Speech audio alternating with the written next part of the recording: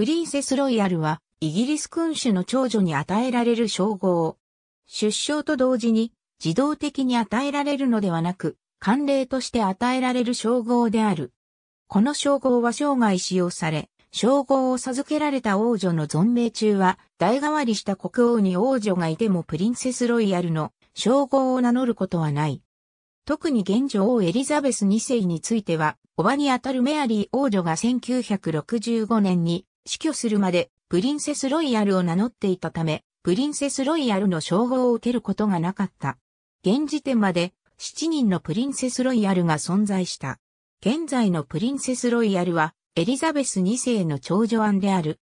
この称号は、フランス王女で、イングランド王チャールズ1世の日であった、ヘンリエッタ・マリアが、自分の長女メアリー・ヘンリエッタに、母国フランスで国王の長女に与えられる称号マダム、ロワイヤルに倣った称号を与えてほしいと願ったことで、創設された。称号は、王家の認証上で授けられ、特許上によって授けられるのではない。プリンセスロイヤルの称号は、在位している君主の判断で授けられる。